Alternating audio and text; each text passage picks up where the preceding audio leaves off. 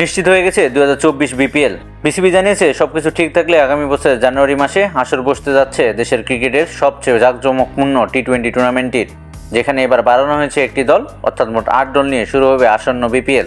তবে এরই মধ্যে খবর বেরিয়েছিল, বাংলাদেশ ক্রিকেটের পোস্টার বয় সাকিব আল হাসান আর খেলতে চান না তার দল ফরচুন বরিশালে। মূলত গত বছরের হারের পর তাকে নিয়ে করা পোস্টে তিনি মোটেই সন্তুষ্ট নন। তিনি নাকি বিষয়টা নিয়ে বেজায় চলেছেন যার ফলে তিনি আগামী মৌসুমে নতুন দলে খেলতে চান। সাকিব আল হাসান এর আগে দীর্ঘদিন খেলেছেন ঢাকা টিমের হয়ে।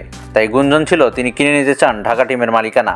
তার প্রতিষ্ঠান মনাক মার্টেই নাকি হতো দলটির কর্ণধার। তবে সাকিবের সাথে সাথে বেক্সিমকো গ্রুপেরও ঢাকার মালিকানা কিনে নেওয়ার খবর বেরিয়েছিল। সব কিছু সরিয়ে গতকাল রাতে সাকিব আল হাসান অবসান ঘটিয়েছেন সকল জল্পনা কল্পনার। তিনি নতুন কোনো দল কিনছেন না, বরং ফিরছেন তারই পুরাতন এক দলে। দুই বছরের চুক্তিতে রংপুর রাইডার্সে যোগ দিতে যাচ্ছেন তিনি। খুব সম্ভবত দু হাজার চব্বিশ বিপিএলে তার নেতৃত্বে খেলতে দেখা যাবে উত্তরবঙ্গের দলটিকে। খবরটি নিশ্চিত করেছে একাধিক সোর্স। শুধু সাকিবকে কিনে বসে নেই রংপুর, মনোযোগী আর দারুণ সব খেলোয়াড়কে দলে ফেরাতে।